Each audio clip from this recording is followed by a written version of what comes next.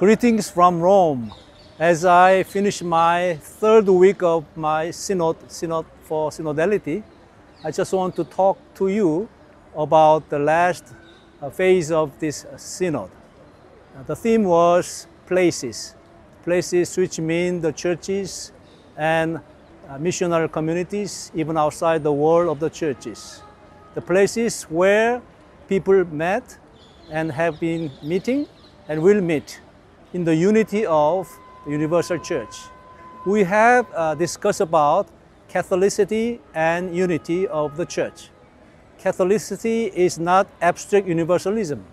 Rather, it includes plurality of uh, Christ churches in different cultures and places and denominations. But still, we are one church.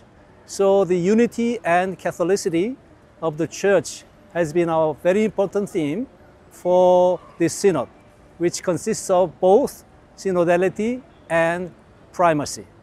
This theme of uh, synodality and primacy is most crucial theme for this entire synodal process.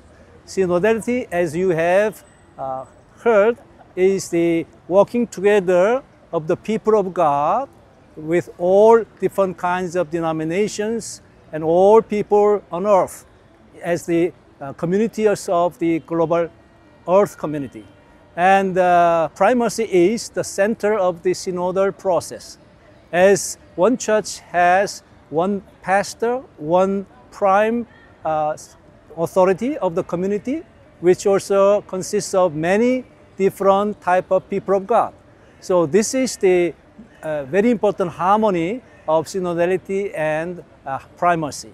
For Methodists, we have been uh, in dialogue with Roman Catholic Church. And recently, 2022, we have uh, produced the document which is called God in Christ Reconciling. In that document, uh, the uh, synodality with uh, primacy was dealt with. As you know, Peter was the leader of the uh, Christ apostles. So he has a kind of primacy among Christ's disciples in the early church even though Roman Catholic papacy has fallen to the monarchical form of leadership during the Middle Ages, uh, so it has not really obeyed the servant leadership of Jesus Christ. But nowadays, after the uh, Second Vatican Council, many uh, bishops of Rome have changed their attitude.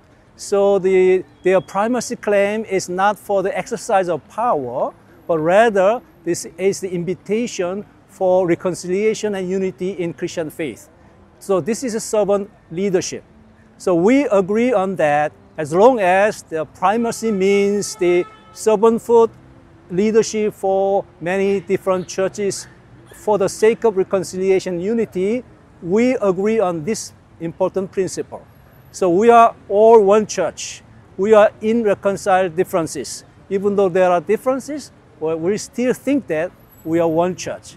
So next week, I will conclude my interview to talk about the final document which will be produced next week. Thank you for listening. Bye-bye.